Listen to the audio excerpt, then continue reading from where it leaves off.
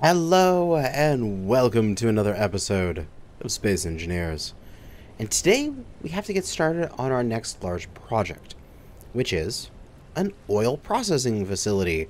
Because I eventually want to get all of my planes and rovers and boats and everything running on gasoline, which is a much more uh, efficient resource than this hydrogen base.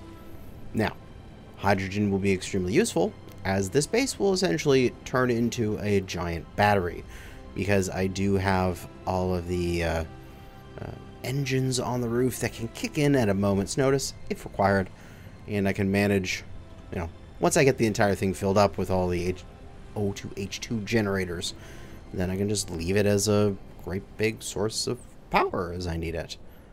But what I have done is over here you may see it shimmering there in the distance I've got a little bit of a design mocked up.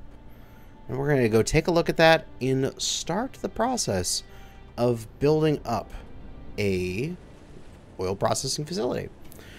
Now, unfortunately, that's going to take a lot of resources. And so I am beginning the process today. I am going to show you the plans and starting to work on it but completing it will be several episodes from now and a lot of hard work. But the plane is filled up, ready to rock, and uh, we're going to move it over there because it has a bunch of materials in it and it has the build and repairs on it, which is extremely helpful. I'm first going to ship them off because I do not want them to build everything there because there's just far too many steel plate that will be required. Uh, let's see here. Do that. Unlock the plane. And engines on. There we go. Now we are quite heavy right now with a ton of resources and uh, components all scrolled away in our containers. And that is because I've got everything I need on here to set up... I, I believe everything I need to do to set up at least a small oil processing spot. I am definitely not going to get the whole thing set up this episode or even anywhere near. So I'd first at least want to get some amount of uh, oil production going so that I can utilize oil production because I want to get this C-130 Hercules uh, maxed out. I want this thing to be able to take off easier because I have more thrust. Like, I'm quite heavy right now, and this is as fast as I can uh, get off the ground, which is honestly a little too sluggish for my tastes. But over here, past the oil sand node, while I could have made this a lot closer, I was searching around and this entire area is annoyingly hilly. And this spot right up here was essentially one of the best flat spots in the area where I could get a uh, a base setup with limited, uh, you know, limited terrain issues. Like, I could set up the base pretty much anywhere here as I start to take out some of the trees. it will be inevitable that that will happen. But I would have to make sure the base is nice and high or have multiple levels to it and stuff like that in order to uh, make it work. But here we are. So we're going to park up the plate. I in the meantime, we are going to set up a little oil derrick thing just like right over here. Just like a single wind turbine and just get some gas coming in. But we're going to take a little tour through this platform. Now, this, I got massive inspiration from a uh, industrial, this is my my take on it when I was playing around in creative. I need my blueprints to load. Come on. There is another SE YouTuber that makes some really cool designs and he has some great tips and tricks on how to build your bases called Black Armor.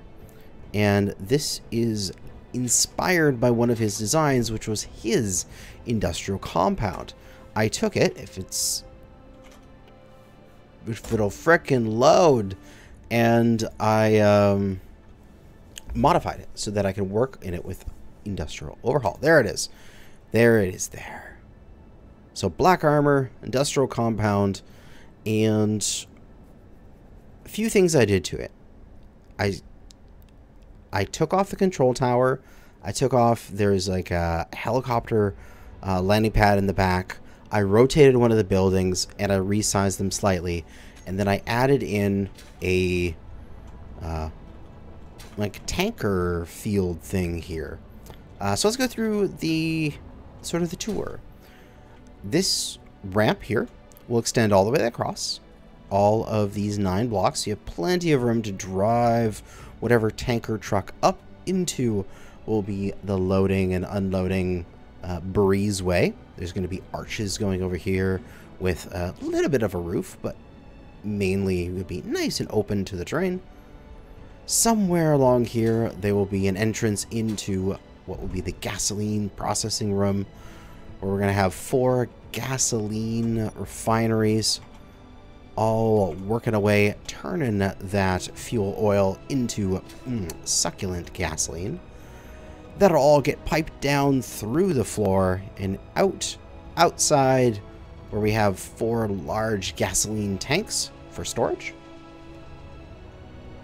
And as well, piping through the floor back over this direction, somewhere in this building, I still need to place in some bitumen extractors in order to take the crude oil into uh, the oil sands into crude oil, and then it'll get piped up to the roof where we've got oil crackers to go from crude oil to various oil products, uh, which will include sulfur and polymers, so that we can then use a synthetics factory in order to uh, make those polymers into rubbers and plastics, and even use, I believe you need uh, like oil sands directly in order to make asphalt. So we'll have access to that as well.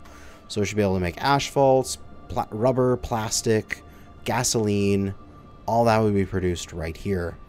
Then sulfur, for example, I'm thinking from this initial factory, we'll maybe have uh, a little satellite factory over here or something like that that'll be processing munitions.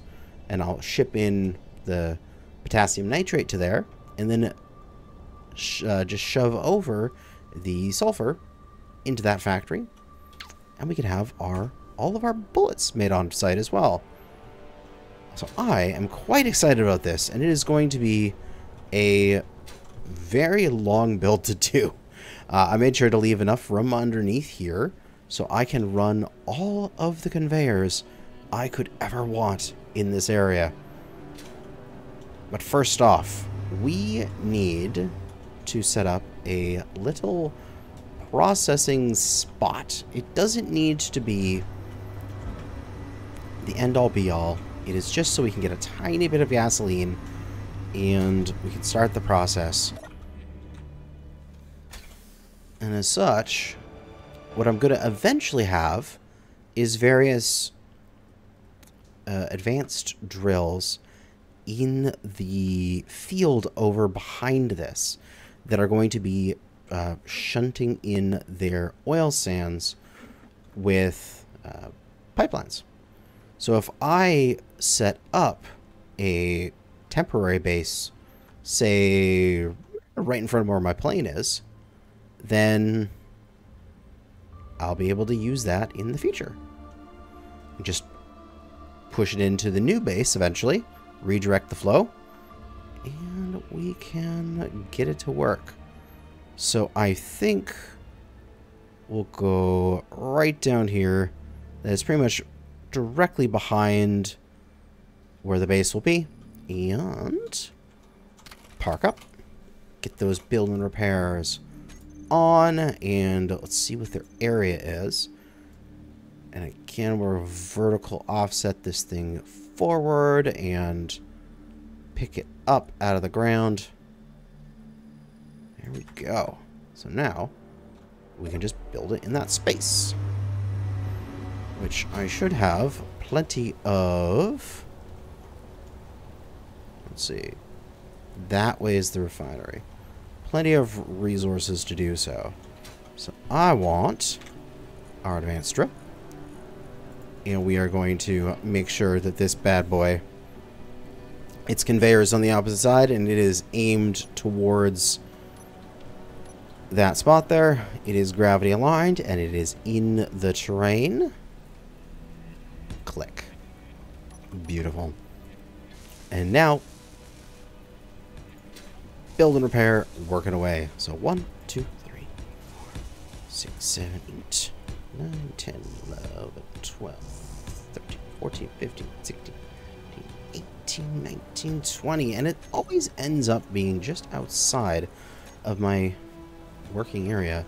But there is a large wind turbine for now. Um, we'll actually won't need that eventually.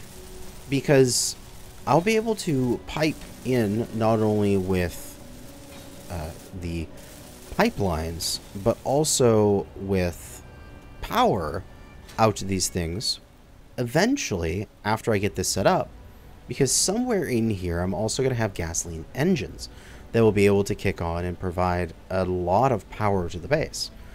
As those those ones don't screw around. Like regular engines is 5 megawatts, these are 15 megawatts, which is going to be impressive. So, I wonder. I think it would probably be possible with whatever amount of processing I have, that I could run that processing off of the gasoline that I make and still make a profit in gasoline, if you know what I mean. Like, or just have a profit of power, so I'm never really fully running out of gas. Should be good. But now we've got this thing working. We still have a few more steel plates. So this is going to create oil like tar, oil sands. So I need first a bitumen extractor. And all this will get replaced in the future. We'll go bitumen extractor. And off the back of that, I may just want to put a conveyor just to get this thing a little bit out of the dirt. Or should I do that? Or I'm being I'm second guessing myself. Okay. I should put that conveyor immediately here. Because I'll eventually need that and then put the pipeline on top of it. So, we can just do that to start. And then we'll just have the, uh, the other stuff here floating in the air, which is going to be difficult. I may need to lay out a little bit of scaffolding to rest it on although I do not want this to be built up. There we go. That's getting built. Then the cracker, which can get plugged in right there. And then finally, the gasoline. Is that? Oh wow, that is It says it's it's it's a it's aligned, right? Gravity aligned. That is gravity. Okay, I'm just going into a hill. That's what's going on. I got really confused there for a moment. And we'll just put the gasoline refinery into that. And then gasoline tank of some kind off of that.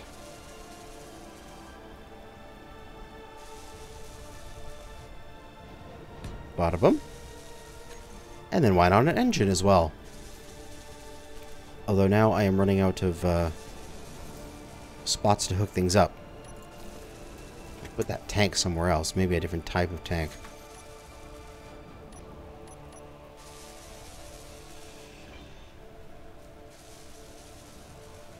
Let's go conveyor junction. And then we'll put that type of tank there on top. And that way we can conveyor out as we need with our gasoline engine off of that as well. I'll put it on the back of this thing. I'll put it right here. And there we go. That should be everything we need for a simple gasoline setup. Just enough to get things functioning. And everything is within the buildable zone, so I should be able to go and turn those build and repairs. This is their show areas, turn them to off. And get to work building this thing up and getting it functioning. Ho ho ho! That's all built up. Alright.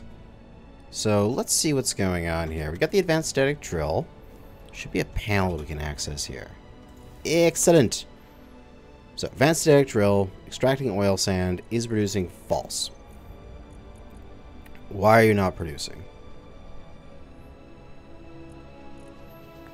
Are we just running out of power on this grid? Yes, the wind turbine is not producing anything. Okay. So I think I need to uh, at least get a tiny bit into the gas tank and then get that running in the engine for the rest of the grid to kick off. Uh, so we look at our power requirements. We've got 1.8 for easy math. Just call it 2. We got 1.5. So we've got 3.5. The refinery is another 2 so five and a half, and the cracker is eight, so we've got 13 and a half, which the engine can cover at 15 megawatts.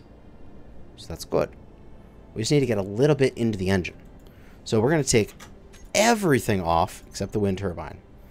We have our 4 megawatts to work with. The cracker, unfortunately, needs 8, which is a troublesome thing. So what I think I might have to do is I might have to uh, I'm going to have to do this anyway, is I'm going to have to hook up the plane to this. So essentially, just like we have back over here, where there's this little bit of a platform for the plane to hook up to with a connector, we're going to do the same thing over here. And that way, the plane can land here, pull up, and then fill up on gasoline before having to head back and uh, you know start doing its next things. So we should have a few dregs of resources in here still. And at least I can get this laid out and then maybe fly off, grab some more resources, come back, and uh, get it set up. So if we look, ah, good. We still have some steel plate. Uh, that is on the other side as those cannot go through the small connections up and across. So with that, we're going to want to go out probably about five. One, two, three, four, five.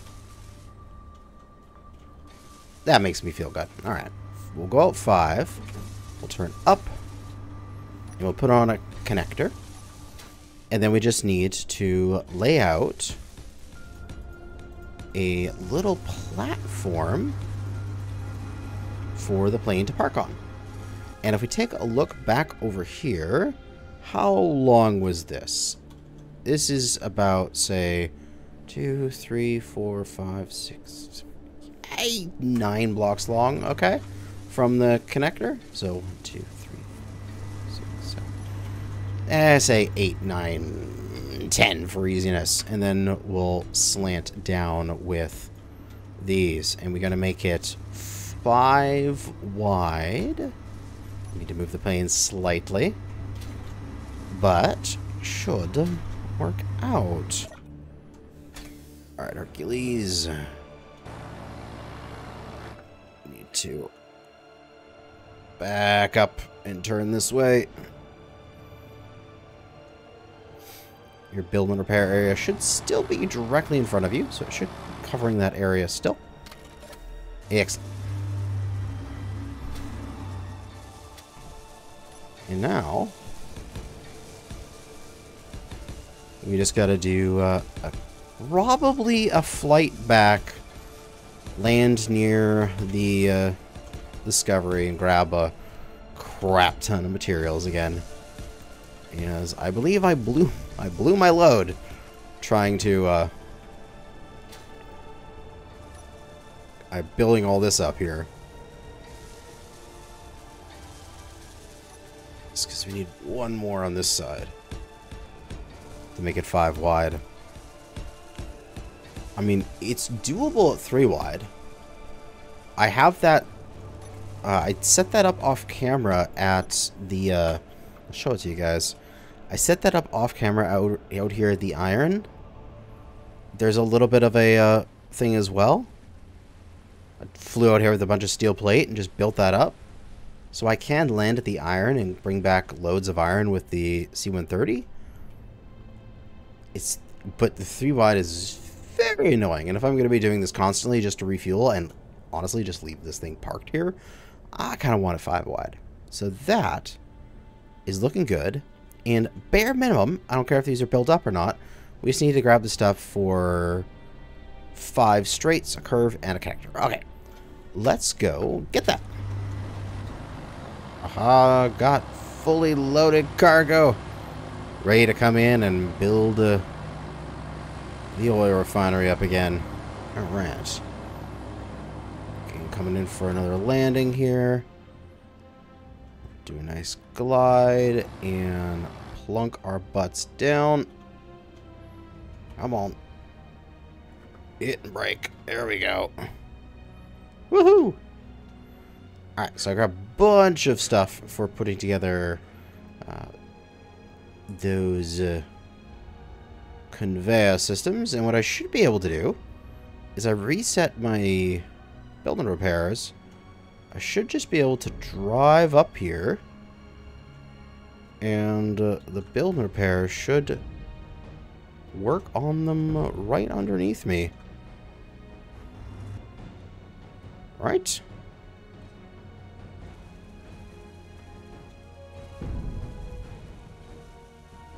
Uh, smoking in my cockpit. Oh! Oh god, what did I do? Um... I did not mean to do that. Did I cause some more damage down here? Okay, my connector is fine. This connector just needs to be built up. Which it is doing right now. Alright, so I my I did a hard landing, I guess. Or at least my docking with this was pretty hard.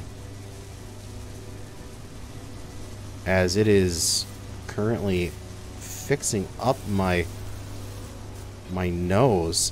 I did I have no idea how that damage translated up and like into my sensitive electronics when I hardly even tapped that thing.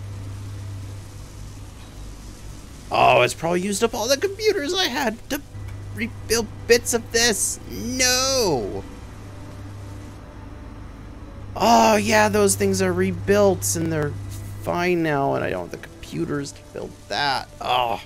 Alright, fine, I'll just fly back. I'm not flying that plane back. Alright, to get some computers.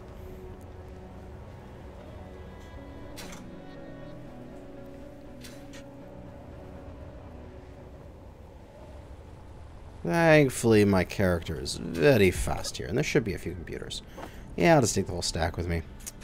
Why the heck not? When your character can get up to a couple hundred meters a second, it's pretty easy to make these uh, transitions back and forth. But you can't really carry a bunch of stuff, at least. But, there we go. Okay, now I can go and get into the cockpit and align this and plug everything in. Should be, and just need to... There we go. Connect. We'll leave our engines on because we are now operating as a battery. But what we do have available is the fact that uh, we have a bunch of engines. We have a bunch of power available. We should be able to, on the other grill, on the grill, grid, turn on the oil cracker. And it's running. Excellent. Let's see if we can turn everything on, actually. Uh, I don't want to just pop over here so I can... It's too bad, like, for inventories that you can only show, like, what this particular grid is. It'd be great if you could do that for the control panel. I know it's the different colors, but it'd be great if you could just be like, just show me this grid, please. But the gasoline refinery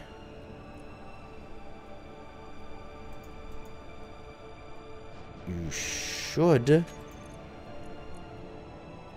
be able to take this fuel oil, right? Or I'm going to have to manually put it in there.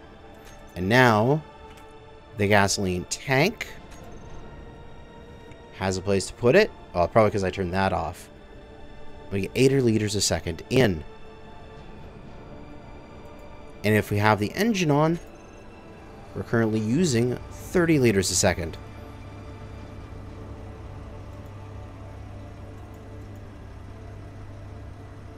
Or are we? Did not have that information. Okay. I should be able to turn the C-130's engines off now. Because now that we got this gas running, we should just be dandy, right? We get the bitumen extractor back on, got the refinery on, got the gasoline engine on. It's now using a little bit of, of fuel. We get the advanced static drill back on, and the cracker is on, and everything should start running.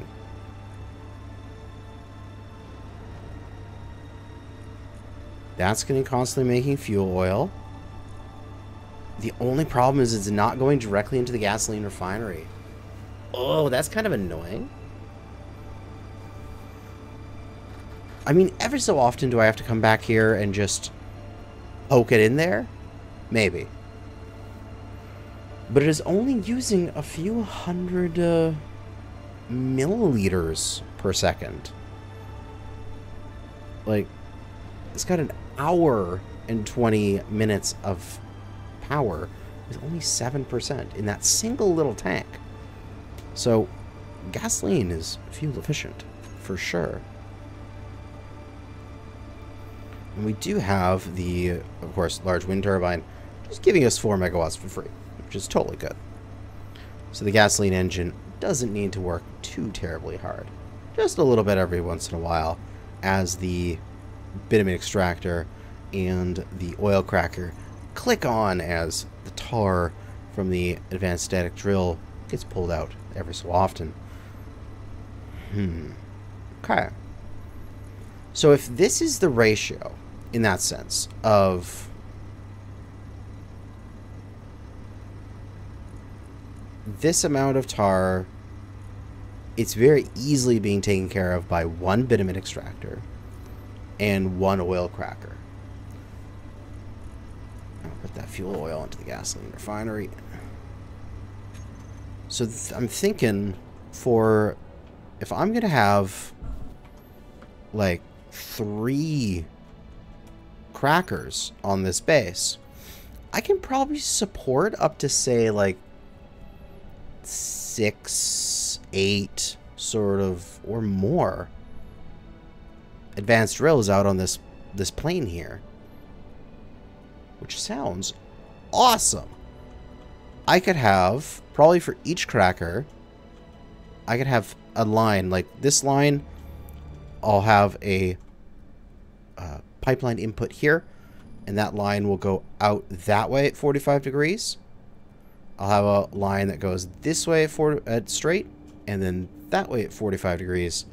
And it'll just be our going out or even branch. So that way the center one will go out to where that one is currently and then it'll go 45 degrees in each direction. This one will go 45 and then off that way 40 like straight on and 45 back.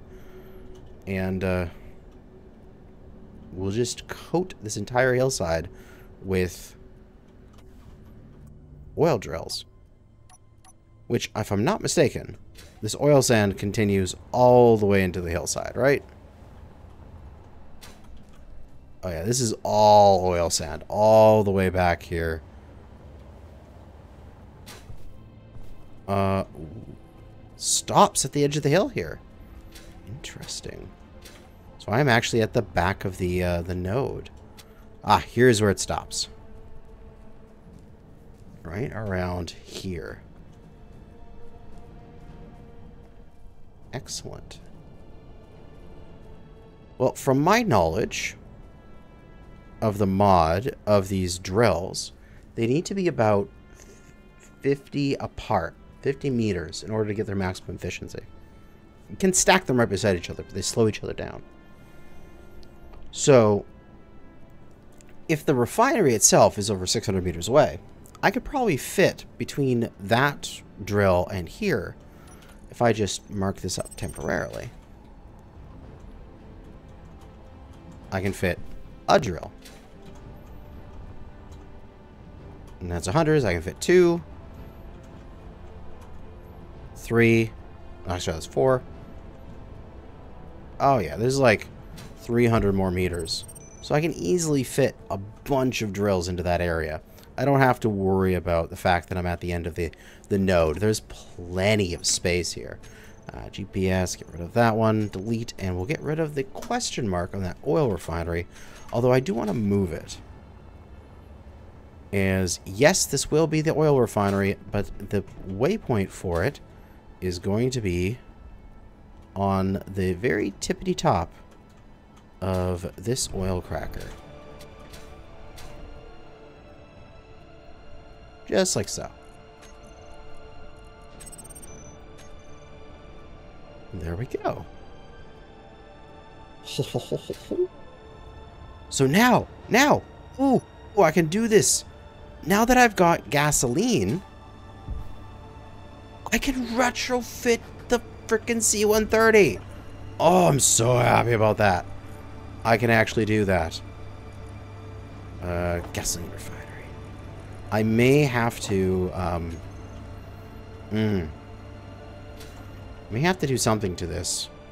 To have that push automatically into the thing. But, mm, I could probably just deal with it manually. I'll figure it out. But, this tank here, filling up thousands upon thousands of liters of gasoline. What we can do now is these engines can be removed. So let's do it for because engine 1, 2, 3, and 4, which engine let's do it for engines 2 and 3 because they're the ones that are off currently. We can take the hydrogen engines out. as they are no longer required. And if you get right in here, I might just tick off this little ceiling of it. You can always put that bit of uh, little armor plating back.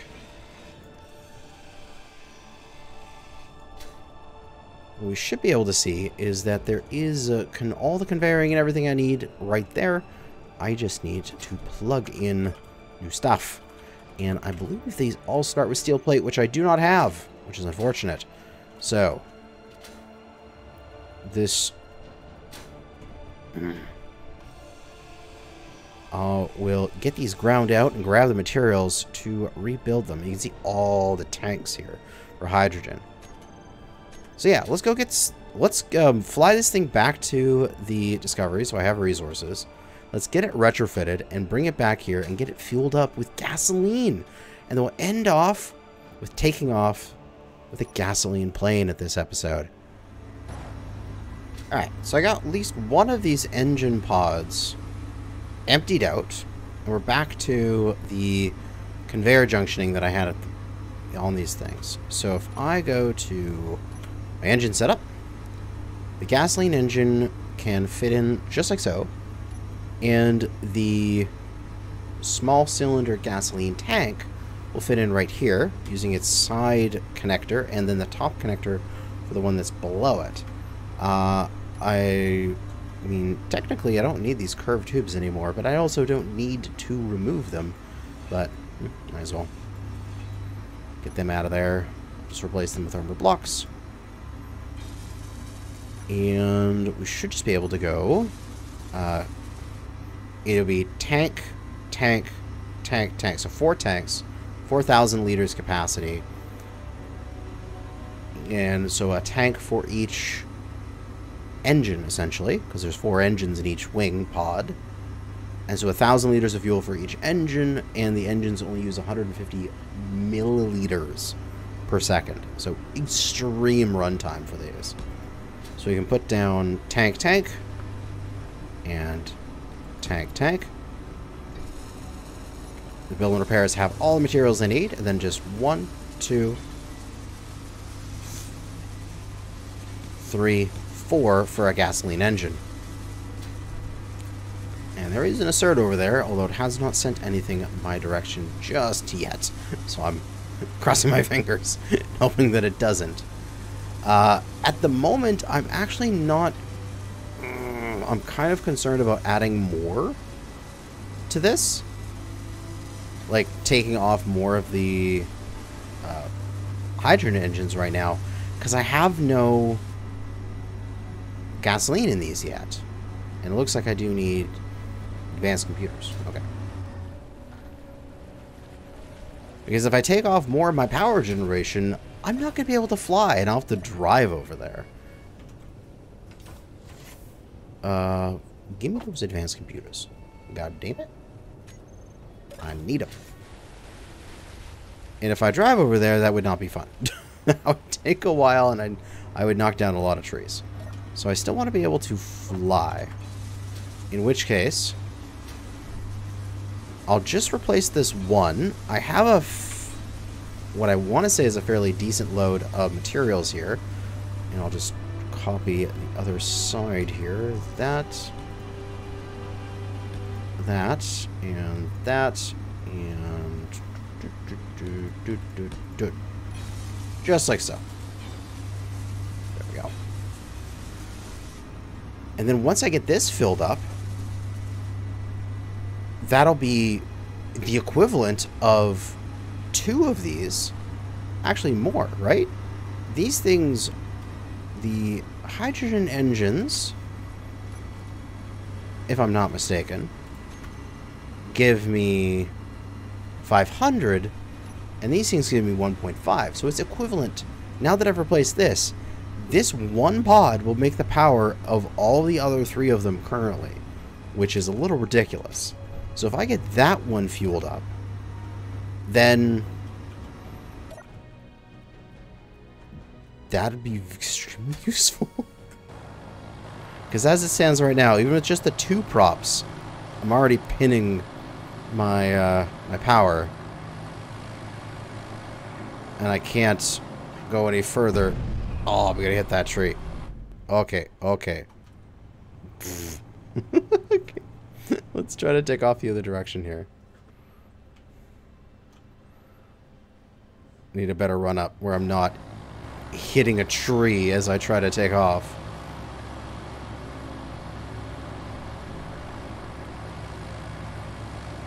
And three, uh, two, one. Come on, can I get a little bit of a rotate? Can I climb? Oh god, I have no gyro authority because I have no power.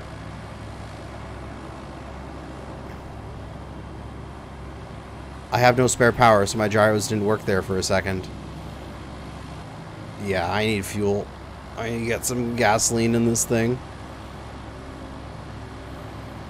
Once I get some gas in, I'll be a happy camper. And then I'll be able to run my engines properly. and even click on another couple engines here.